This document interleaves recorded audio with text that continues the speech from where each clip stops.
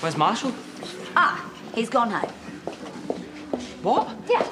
Colin came and picked him up. You called him? Yeah, well, I had no choice, Arthur. Hey, don't worry about it. It's fine. Your mum worked a magic. That's why he hasn't texted me.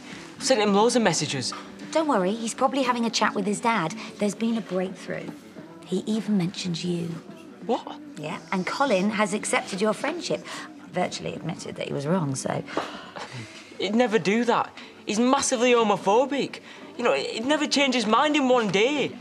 All right, Arthur, look, calm down. He called me a disgusting little pervert. Warned me not to touch his son.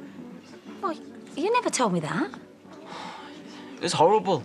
Embarrassing. Arthur? He hasn't changed, and he never will. He's just making you think that. Last time Colin was upset with him, he made him quit school. This punishment's gonna be way worse. I didn't realise. It. Why didn't you warn me? Mum, what have you done? Don't worry, he's, he's probably overreacting. I think I've made a huge mistake.